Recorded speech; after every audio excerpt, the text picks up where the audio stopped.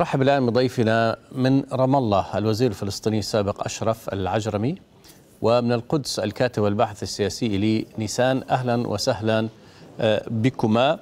آه، سأبدأ معك سيد إلي نيسان. آه، يبدو أن الاستعدادات باتت جاهزة لعملية اقتحام رفح الآن. لكن موضوع المنطقة الإنسانية ما تسميها إسرائيل منطقة إنسانية يعني يبدو حبر على ورق يعني كلام عشوائي غير منطقة. حتى الآن لا هي المنطقة محددة وين ولا غير ذلك. وبالتالي آه، كيف يمكن لإسرائيل أن تقوم بهذه العملية؟ وسط مليون نازح موجودين متكدسين في رفح.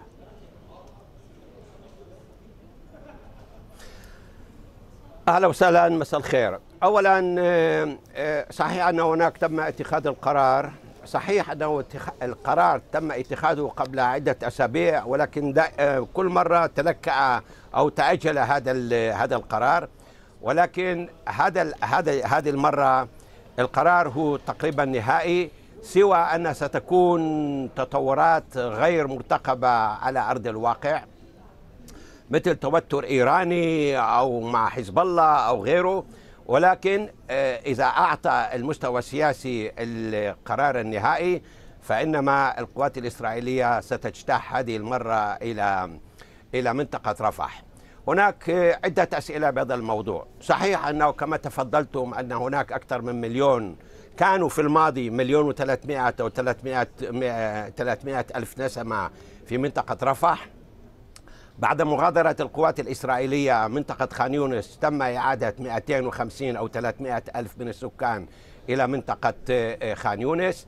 الآن إسرائيل تعمل على إقامة آه، مخيمات في منطقة المواسي وأيضا قامت بإقامة مستشفيات ميدانية في هذه المنطقة. وطبعا كل ما يتعلق بتقديم المساعدات الإنسانية للسكان الذين سيتم الطلب منهم لترحيلهم من منطقة آه، رفح إلى منطقة المواسي شريطة أن حركة حماس لا تضع المزيد من العراقيل وتمنع من سكان آه، رفح مغادرة هذه المناطق. صحيح أنه كما قلت أن هذه العملية تأجلت عدة مرات أولا بسبب معارضة الولايات المتحدة بحيث الولايات المتحدة تصر على م. عدم استهداف وهذا شيء طبيعي أيضا عند إسرائيل. عدم استهداف آه، آه، سكان عزل. وبعد أن وعدت إسرائيل بانها ستقوم أو تعمل على آه، نصب خيم. وقد طلبت إسرائيل أربعين ألف خيمة يتم نصبها خلال الأسبوعين القادمين. وبعد أن إسرائيل استجابت أيضا لطلب آه آه إيران آه طلب الولايات المتحدة بعدم الرد الصارم على ما قامت به إيران من إطلاق الصواريخ وانتهجت آه، بضبط النفس. طيب. آه ووعدت إسرائيل أيضا بإقامة خيام المعارضة التي كانت من جانب الولايات المتحدة. هذه المعارضة معارضة خفت طيب. طبعا. سيكون أيضا التنسيق مع مصر بهذا الموضوع بحيث لا يتم اجتياز العديد من السكان من من منطقة رفح إلى مصر. طيب وبعد إتمام كل آه. التنسيقات. أعتقد أن إسرائيل ستقوم بهذه العملية. طيب.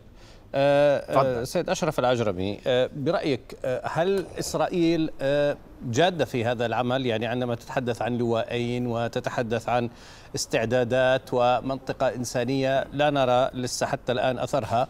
وكما يقول سيد إيلي نيسان إسرائيل حريصة على عدم استهداف المدنيين العزل بين قوسين. يعني آه، فهل فعلا ستكون جادة في عمليتها أو في اقتحامها لرفح برأيك؟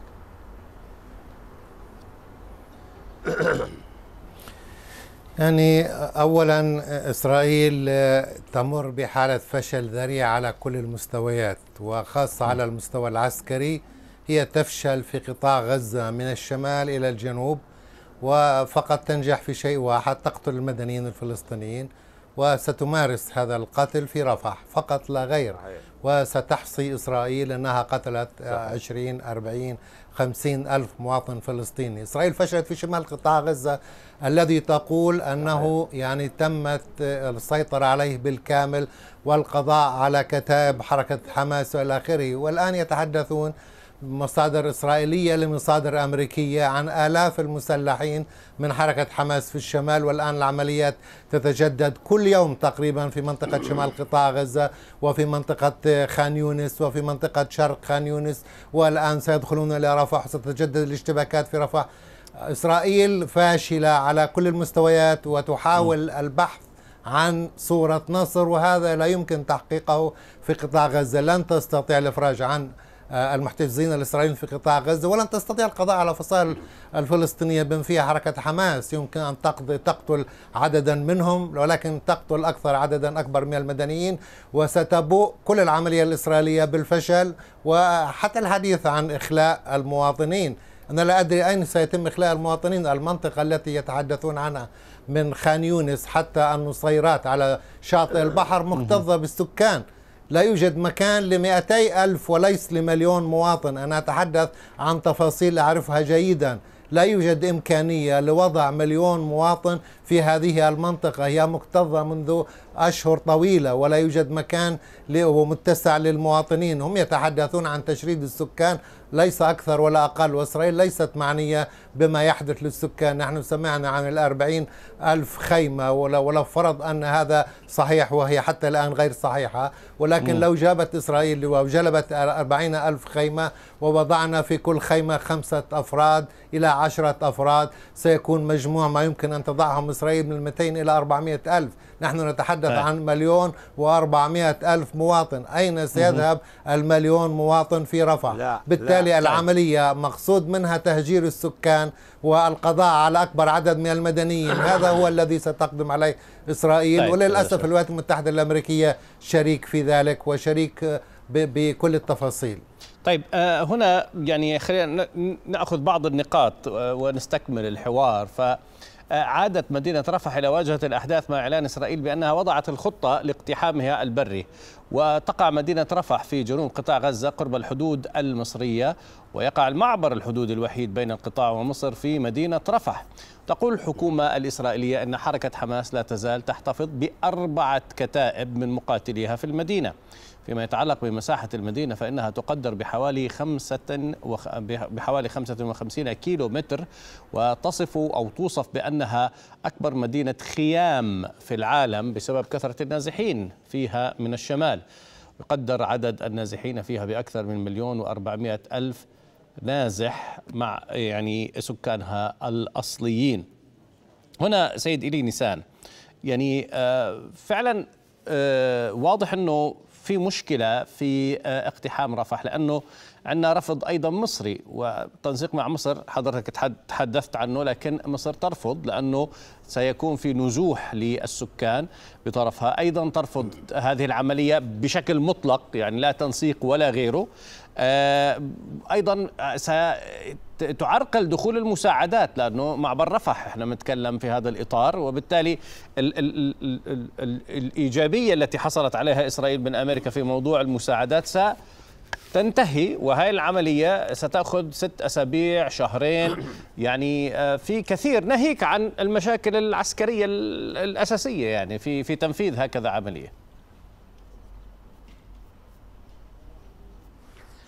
اولا ليس فقط أربع فرق هناك في في منطقة رفح وإنما العديد من النخبة الذين هربوا من جيش الدفاع من المركز ومن الشمال يتحصنون اليوم في منطقة رفح. ولذلك العملية تستمر ليس شهر وإنما ربما ستة أسابيع. تفضلت عن قضية المعابر. آه، صحيح أن ربما معبر رفح سيغلق بسبب العملية ولكن هناك معابر معابر أخرى يتم إدخال المواد الغذائية إلى منطقة آه، آه، رفح. أقول سيد أشرف عجرمي مع الأسف أن كل معلوماتك عندما تقول أن الجيش الجيش الإسرائيلي فاشل في عملياته كل معلوماتك هي خطأ. وأنا أقول لك لماذا؟ أولا كل المستوى العسكري أو قادة حركة حماس تم معظمهم تصفيتهم وأنت لا تع... وأنت غير داري من هذا. ثم آه، معظم الأنفاق التي حفرها حما حفرتها حماس برئاسة يحيى السنوار بأموال باهظة على الشعب الفلسطيني ومعظم هذه الأنفاق تم تدميرها وتفجيرها. آه، ثالثا آه، صحيح أنه كانت هناك 24 فرقة من حركة حماس.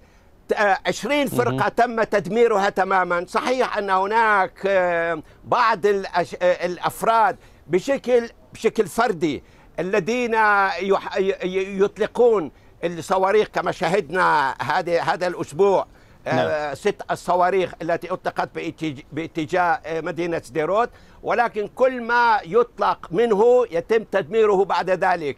آه، القوات الإسرائيلية عادت إلى شمال وإلى مركز قطاع غزة. سمعنا اليوم على سبيل المثال وزير الخارجية المصري عندما تحدث مع وزير إيرلندا الذي هو يخشى من إمكانية آه، اجتياح القوات الإسرائيلية. هناك تنسيق مع مصر بهذا الموضوع وهناك قوات مصرية هائلة في في في القسم المصري الذي تمنع آه، نزوح السكان من مرفح إلى. وهذا هو هذا هو هذا هو الهدف من إسرائيل أن اولا سيكون تنسيق نعم. مع مصر بهذا الموضوع بحيث لم يتم نزوح السكان من رفح إلى إلى مصر.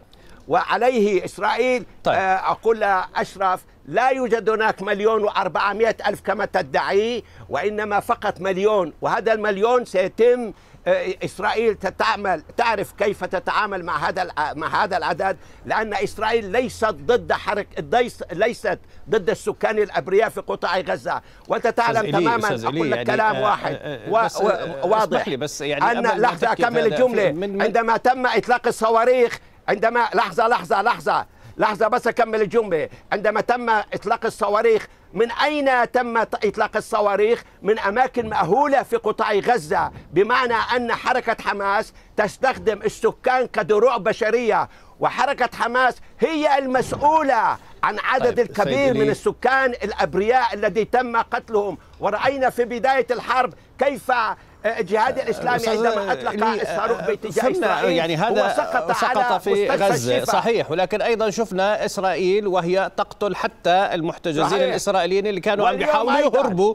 وبالتالي أيضا في كان إسراف وعدم تمييز بعمليات القصف الإسرائيلي لأنه 35 ألف قتلوا و70 ألف جريح. في الحروب تقع أخطاء. طيب تقع يعني هاي أخطاء هذه ما بعرف هذه أخطاء ولا كوارث ولا جرائم ولا شو. هذه المعطيات وصايات ينشرها وزارة الصحة لحركة طيب حماس صحيح لكن خلينا نقول فضل. أنه المليون والمليون و400 ألف يعني برضو أرقام كبيرة يعني ما, ما نحاولش أنه يعني نقول أنه مش يعني ليس تضخيما ولكن خلينا أسأل أستاذ أشرف باختصار هل فعلا يعني ممكن هذه العملية أن تنهي حجج إسرائيل على الأقل بأنه في قيادات حبسوية موجودة وبالتالي يمكن يكون في تعاون أكبر مع اللي ممكن يقبلوا بالنزوح وتوفير مساعدات حتى عودة بناء الميناء اللي يعني توقفت العمليات عبر البحر بسبب آه، قتل الجيش الإسرائيلي لل آه، عناصر Central Kitchen World Central Kitchen ألا ترى أنه لا ممكن هذه الأمور شوي تغير الوضع على الأرض؟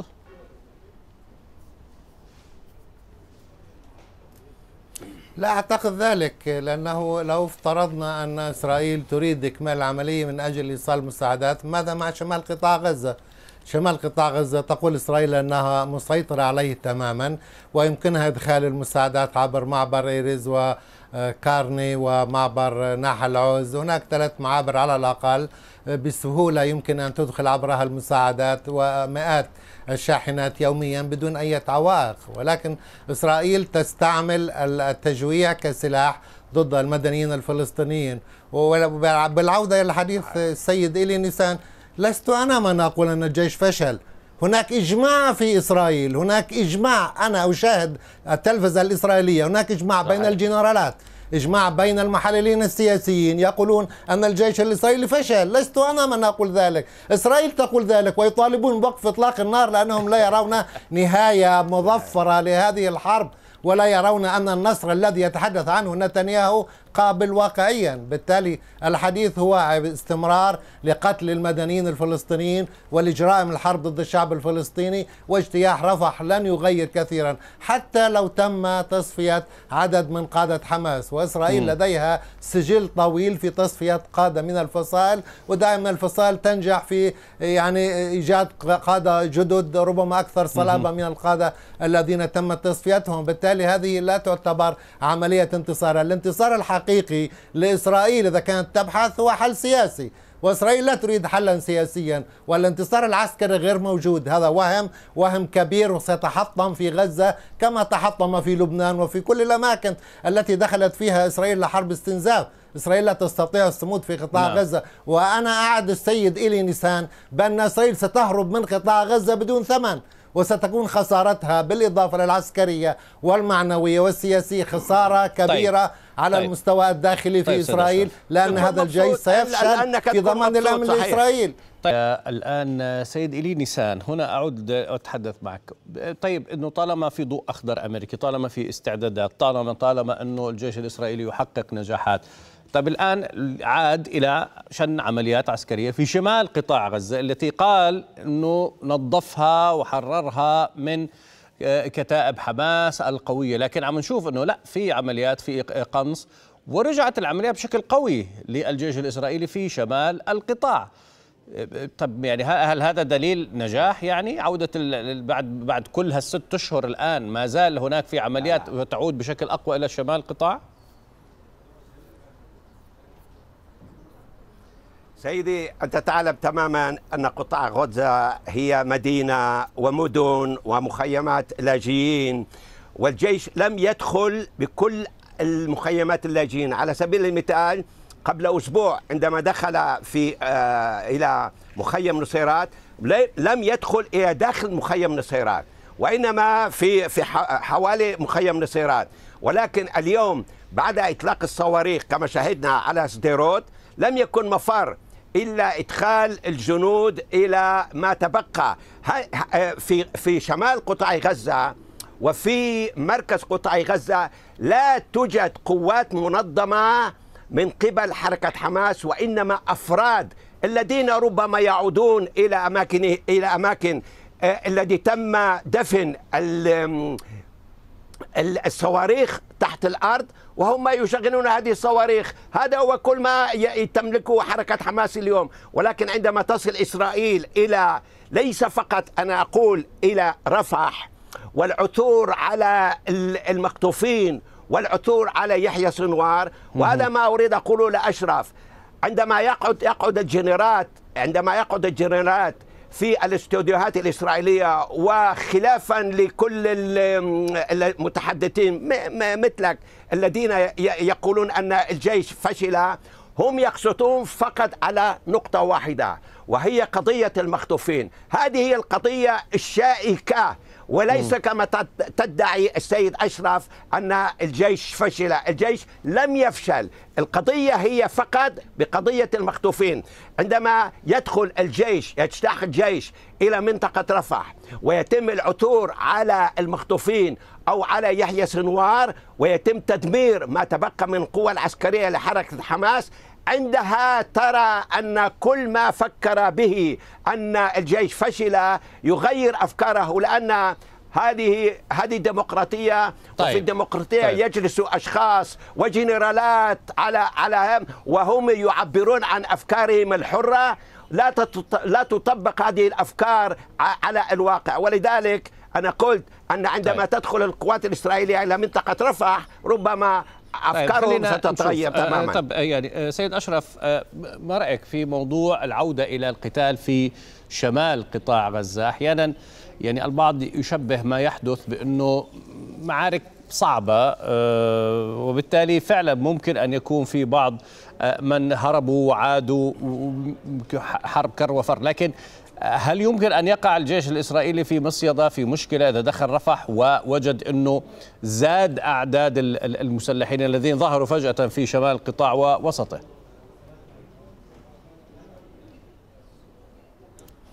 بالتأكيد أولا هذه الفصائل لا تشن حربا نظامية يعني ليس جيشا مقابل جيش بمعنى أن إسرائيل تستطيع أن تقضي عليهم وبالتالي تدخل مدينة هم موجودون غالبيتهم الساحقة في أنفاق تحت الأرض وموجود في أماكن مخفية ولا يستطيع الجيش الإسرائيلي أن يصل إليها. وحتى ما عندما يصل إلى المنطقة ينتقلون من منطقة إلى أخرى. هم ليس جيش نظام على الأرض تقضي عليهم إسرائيل. وبالتالي كل الادعاءات التي تحدث عنها السيد إلي نيسان لا علاقة لها إطلاقا بالقتال في قطاع غزة.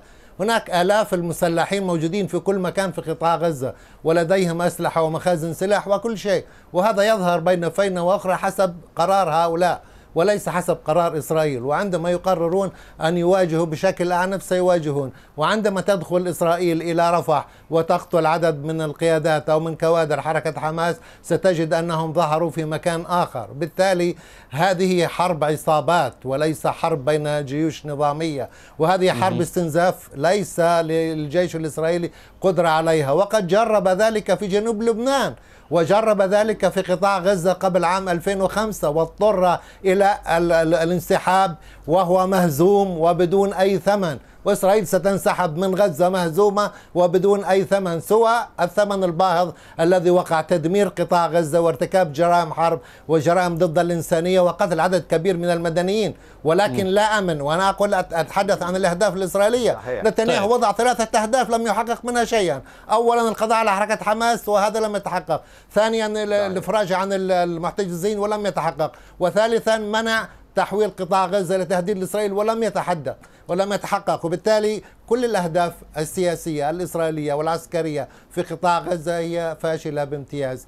وإسرائيل عليها أن تبحث عن حل سياسي. لا طيب. يوجد سوى حل طيب. سياسي لأزمة قطاع غزة والقضية الفلسطينية عموما. حل سياسي سؤال حركة حماس. لا حل سياسي حل حركة سيد لي نيسان يعني أكيد يعني أي حدا بيتكلم عن حل سياسي بيتكلم عن نعم. حل الدولة الفلسطينية والسلطة. يعني يعني في أشياء إحنا يعني بديهيات بنحكي فيها. ما ما بنحكي عن ما حدا بيحكي عن إذا حركة حماس إذا حركة نعم.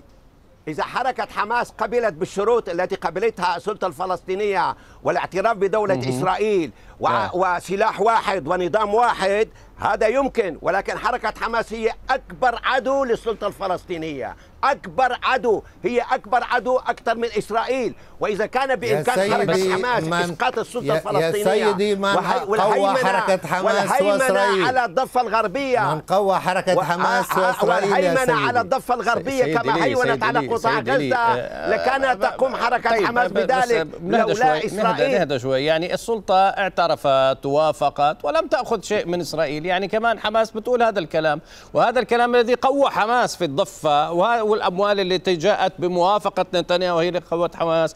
فيعني حتى الآن يعني حماس ظهرت في تركيا بتقول إنه إحنا موافقين ممكن نوافق على دولة وعلى ترك السلاح بس أعطونا أول لأنه شفنا اللي صار مع السلطة الفلسطينية وافقت ووقعت وعملت كل شيء ولم تنفذ إسرائيل بل استمر الاستيطان استمر العمليات الأمنية الإسرائيلية. يعني وبالتالي آه، هذا الموقف الإسرائيلي وعدم تنفيذ الاتفاقيات من جانب إسرائيل هو اللي عم بقوي شوكة حماس على الأرض أستاذ إلي. أليس كذلك؟ أنا أقول لا لا سيد أشرف أنت تعلم تماما الانتفاضة الثانية. في قطاع غزة وأنت تعلم تماما ما يحدث في مخيم جنين وتعلم تماما ما حدث قبل أسبوع في مخيم نور شمس في منطقة الكرم. هكذا يحدث في قطاع غزة.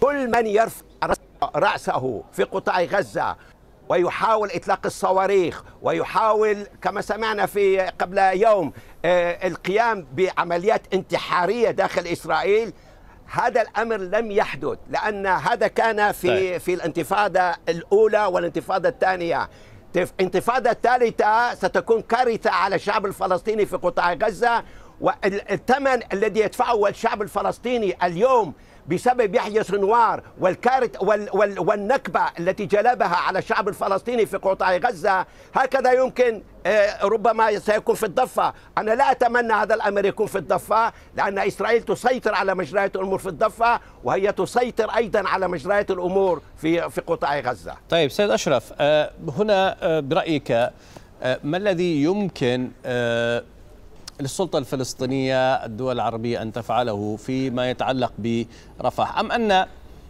يعني ممكن يعني وسامحني على هذا الطرح بس أحيانا يجب نكون آه، في في في بعض الأفكار آه، نطرحها. إنه لعل يعني ما المعاناة الفلسطينية التي استمرت الآن ست أكثر من ست أشهر أكثر من 200 يوم يعني عملية رفح ممكن أن تكون الكاشفة ونقطة النهاية لادعاءات الحكومة الإسرائيلية أو حتى تحديدا سيد نتنياهو. يعني إذا بدأت عملية رفح وبعد أسبوعين ثلاثة أربعة لم يعثر على مختطفين لم يعثر على السنوار هنا سيكون آه، يعني الجيش الإسرائيلي قد وضع نتنياهو في أزمة وفي فخ. بينما يعني الشعب الفلسطيني في غزة ما زال يعاني ولكنه سيعاني. يعني هنا لا لا تجد أنه في آه، أيضا آه، ممكن أن يكون تهديد سياسي لنتنياهو نتيجة العملية العسكرية في رفح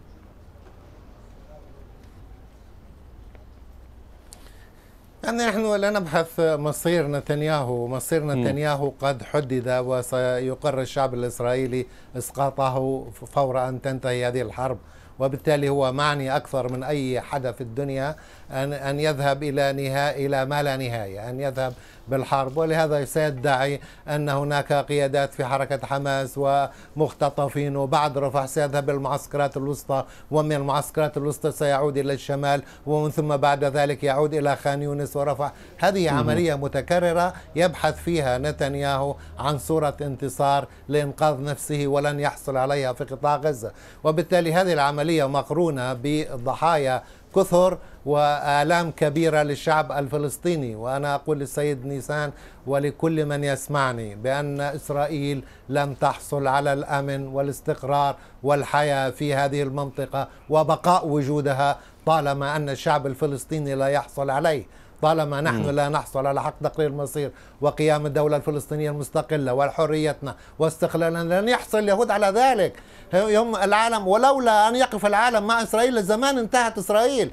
اليوم حتى في الحرب في قطاع غزة لا تستطيع إسرائيل أن تستمر يوما واحدا الجنرالات الإسرائيليون لا يقولون ذلك لست أنا ولولا الوقوف الولايات المتحدة الأمريكية والدول الغربية بجسور جوية وشاحنات وسفن وأمداد على مدار نعم. الساعة بالأسلحة لا تستطيع إسرائيل حتى صد آه، الأسلحة الإيرانية الطائرات المسيرة والأسلحة البدائية التي أرسلتها إيران إلى إسرائيل بدون آه، الولايات المتحدة الأمريكية والدول الغربية لا تستطيع إسرائيل أن تصمد. نعم. ليس لديها قذائف للمدفعية. طيب. ليس لديها قذائف للصواريخ. ليس لديها قبة نعم. حديدية. ليس لديها شيء. إسرائيل طيب. ليست دولة تستطيع أن تستمر في حرب استنزاف مع الفلسطينيين لوحدهم إسرائيل ليس دولة. صحيح حسب الحل هو سياسي إسرائيل طيب. ليست دولة. طيب. لا ليس لها لها جيش إسرائيل دولة فاشلة سيد إسرائيل دولة فاشلة إسرائيل ليست دولة. ساقطة في نظرك في نظرك إسرائيل ليست دولة. أنتم تريدون أنتم تريدون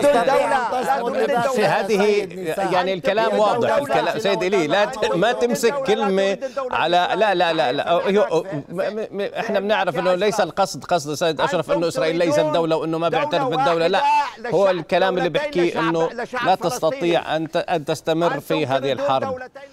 طيب آه لا لا هذه آه معلش سيد إلي نسان هذا بنسميه اصطياد في الكلام. يعني بتسحب كلمه في النص. إحنا عارفين المعاني والمواقف لكل آه من يتحدث آه معنا من ضيوف. فخلينا شوي آه نودي حسن النية ونحكي بكلام واضح. أشكركما شكرا جزيلا على هذا الحوار. آه، من القدس الشكر للكاتب والباحث السياسي إلي نيسان. والشكر أيضا لضيفي من رام الله الوزير الفلسطيني السابق أشرف العجرة